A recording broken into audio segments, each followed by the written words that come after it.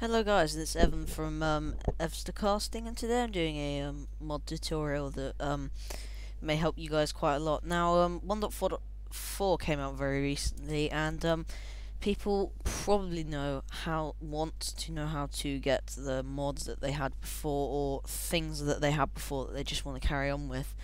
Um, so e.g. lots and lots of mods.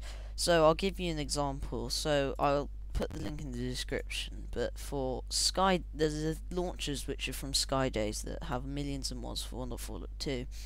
Now, as soon as the update comes out, these are impossible to get in any other way because the Mi Minecraft MC Nostalgias, etc. aren't working. So the way to get the mods for 1.4.4 is to do like is to do this. So come to the 1.4.2 pre-release now.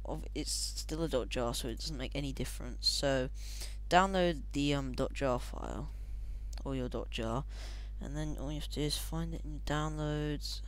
Wait a few seconds and it will download.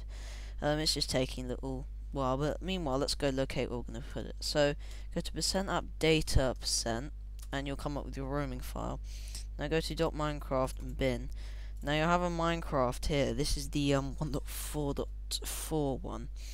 Now basically what you want to do is drag that into the recycling bin like that or put it in the trash delete it, doesn't matter get rid of it.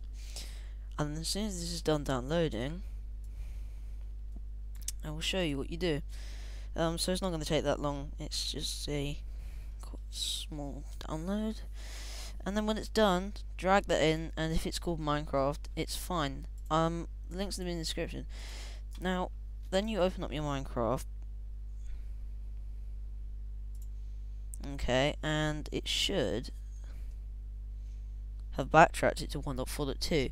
So now you'll be able to access all of your mods that you had in 1.4.2. So this is kind of how to backtrack your Minecraft in a way, the um, newest update. Now as soon as MC Nostalgia comes out guys, I'm going to um, do a video on that for to be able to get 1.4.4. So guys, I hope you found this useful because um, this may really help you guys get some mods and stuff.